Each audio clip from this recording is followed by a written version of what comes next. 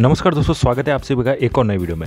तो आज बजाज मोटर्स द्वारा अपने समय की सबसे चहेती बाइक पल्सर को न्यू अवतार के साथ N250 और F250 मॉडल नेम के साथ लॉन्च कर दिया।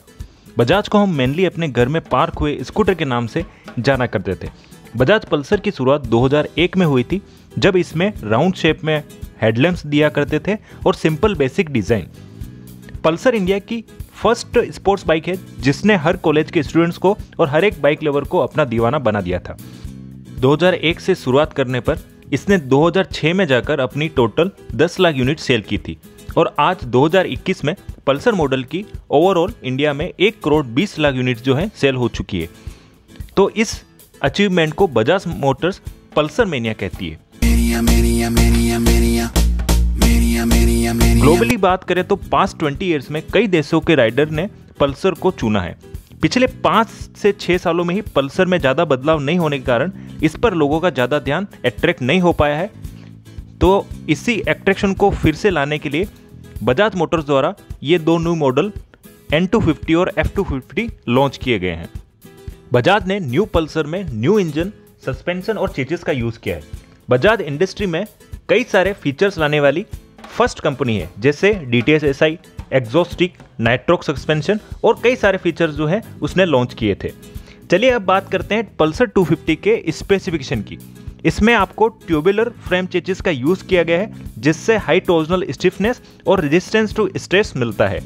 इंजन में यहाँ पर four stroke oil cool fuel injected 250 CC engine मिलता है, जो 20.4 6.5 पीएस का पावर और 21.5 न्यूटन मीटर का टॉक देता है। इसमें 5 स्पीड ट्रांसमिशन जो है यहाँ पर यूज़ किया गया है। फ्रंट में यहाँ पर टेलीस्कोपिक और रियर में आपको यहाँ पर मोनोसॉक सस्पेंशन मिलता है, जो राइडर को एक अच्छा कंफर्ट फील करवाता है।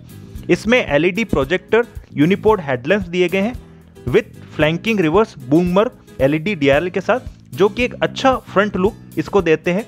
साइड व्यू मिरर भी काफ़ी अच्छी लुकिंग के साथ दिए गए हैं, जो एक स्पोर्ट्स बाइक में हमें देखने को मिलते हैं। यहाँ इंस्ट्रूमेंट क्लस्टर में डिजिटल और एनालॉग दोनों का कॉम्बिनेशन रखा गया है। यहाँ आपको जो थ्रिल टेकोमीटर की नीडल को देखने पर मिलता है, उसे एज इट इज़ रखा गया है, ताकि राइडर को एक रियल फील आए, जो कि हमें आजकल डिजिटल टेकोमीटर में देखने को नहीं मिलता। यहाँ इंस्ट्रूमेंट क्लस्टर में आपको टाइम और डेट की information M side stand indicator, gear shift advisor, trip meter के साथ कई सारे अदर फीचर्स भी मिलते हैं। असिस्टेंट स्लीपर क्लच यहाँ पर दिया गया है, जिससे आप कॉन्फिडेंस के साथ यहाँ पर एग्रेसिव डाउन शिफ्टिंग कर सकते हैं। साथ ही आपको एक इफर्टलेस क्लच पुल भी मिलता है।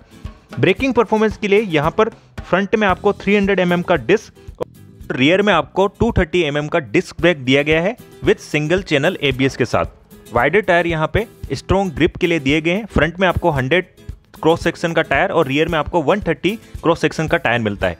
एफ़ टू फिफ्टी में आपको रेसिंग रेट और एन टू फिफ्टी में आपको टेक्नो ग्रे कलर ऑप्शन फ़िलहाल में आपको मिलेंगे। न्यू पल्सर आपको 10 नवंबर से डीलरशिप पे मिलने स्टार्ट हो जाएगी। तो अब बात करते हैं इसके प्राइस की।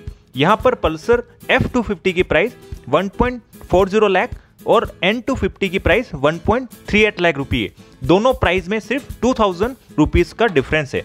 प्राइस यहाँ पर काफ़ी एट्रेक्टिव है, जो कि काफ़ी लोगों को पसंद आने वाली है, क्योंकि 250 सीसी बाइक इस प्राइस में सिर्फ़ बजाज ही ऑफ़र कर रहा है। तो ये अट्रैक्टिव प्राइस और पल्सर मेनिया का जुनून क्या मार्केट में धूम मचा पाएगा, ये तो आने वाला समय ही बताएगा। पर एक बात कहनी होगी कि बजाज ने अपने सबसे चहती पल्सर को फिर से एक नई लाइफ दी है। तो आपको कैसी लगी पल्सर 250 तो आज के वीडियो को करते हैं यही एंड अगर आप इस चैनल पर नए हैं तो प्लीज़ हमारे राइट स्पार्क चैनल को सब्सक्राइब कीजिएगा। ये वीडियो अपने फ्रेंड के साथ शेयर कीजिएगा।